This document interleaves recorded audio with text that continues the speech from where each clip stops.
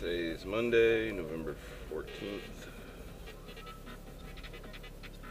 On the way to Saddleback. More group project fun.